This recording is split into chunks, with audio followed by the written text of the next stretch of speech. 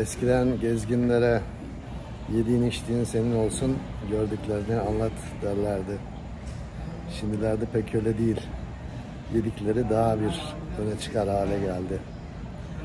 Filipinler'de özellikle e, Manila'da dünya mutfağına e, örnek verecek oldukça e, çok sayıda fine dining restoranlar mevcut. Hepsi de birbirinden güzel.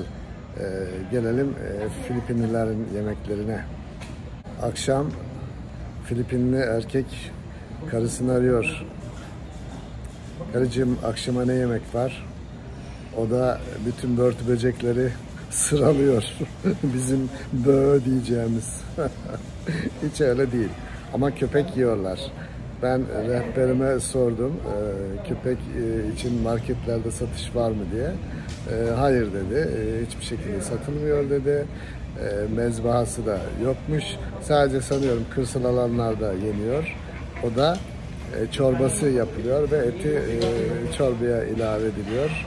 Ama genel bir satış yok. Kain na tayo. Hadi yiyelim.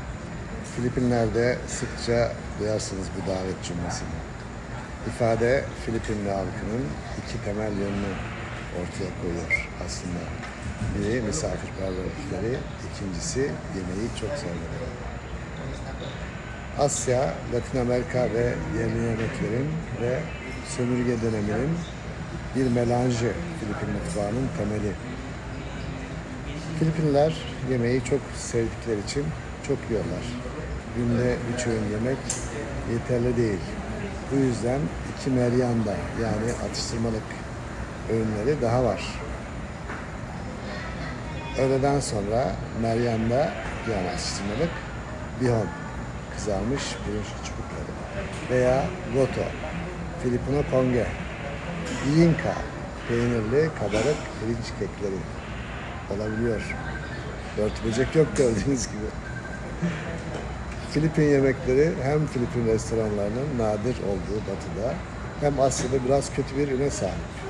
Bu el yapımı yemeklerinin dünyadaki en lezzetli yemek olduğunu düşünen Filipinlileri oldukça şaşırtıyor. Gerçekte yerli Pino yemekleri ne uluslararası itibarı kadar kötü ne de yerel halkın inandıracağı kadar lezzetlidir. Tabii ki hepsi sizin damak zevkinize. Filipin yemekleriyle ilgili olağan şikayetler ağır, çok ağır, çok tuzlu olmasıdır. Hamburgerler, Tayland yemeklerine kadar her şeye şeker bolca bocalarlar. Ancak ne sipariş edeceğinizi bilirseniz lezzetli yemeklerde bulabilirsiniz.